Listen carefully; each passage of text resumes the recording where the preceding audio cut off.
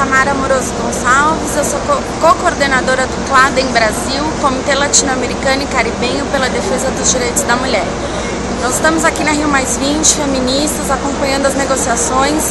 É, estamos bastante insatisfeitas com o texto que foi divulgado hoje, é, porque entendemos que ele enfraquece a linguagem, enfraquece a gramática de direitos humanos, inclusive em temas que já foram acordados há muito tempo principalmente em 1994 e 1995 em Cairo e Beijing, no que se refere à questão dos direitos sexuais e reprodutivos. Então, uh, nesse ponto, nós reafirmamos que é muito importante resgatar é, o que já foi afirmado nesses documentos, é, é, garantindo os direitos sexuais e reprodutivos de todas as mulheres. Sem trabalhar essa questão na perspectiva dos direitos humanos, é, não dá para se pensar em sustentabilidade nem em desenvolvimento sustentável. A questão do desenvolvimento sustentável está intimamente ligada com é, a garantia desses direitos, né?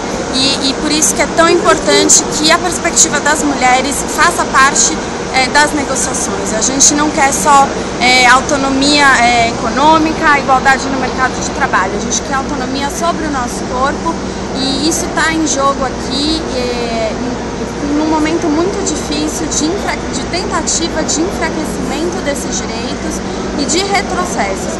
É impensável que mais de 20 anos depois que a gente afirmou esses direitos, hoje a gente está tentando retroceder nesse campo, em vez de avançar. Então isso é inaceitável e nós, como uma rede é, feminista latino-americana, viemos aqui para reivindicar que esses direitos sejam preservados e que a gente não tenha esse tipo de retrocesso, bem ao contrário, que a gente tenha avanços nesse campo. Sem os, lembrando um slogan que é amplamente conhecido, sem as mulheres os direitos não são humanos. Então a gente precisa dessa perspectiva é, para garantir um mundo melhor para todos.